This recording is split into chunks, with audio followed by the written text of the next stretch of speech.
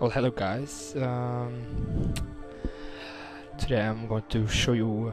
Well, I got a lot of complaints about uh, how to remove the Facebook timeline, and uh, yeah, I found a really easy way to do that, and I'm going to show you right here, right now. Okay, that's the Facebook timeline. You just it's kind of boring. So um, first of all, you go to this link, which is in the description video. Um,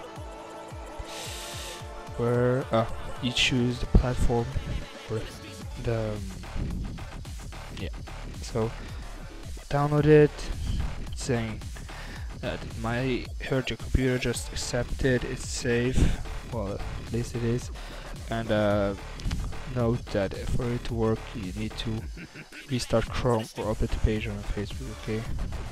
Yeah. See? Oh did you see that and old uh, Facebook is back. Uh, the problem is that only you can see it, so uh, yeah, that's the kind of problem. Uh, but still, it is worth it to uh, do it. So that's easy. Go on the site, click the platform you're using, and accept it.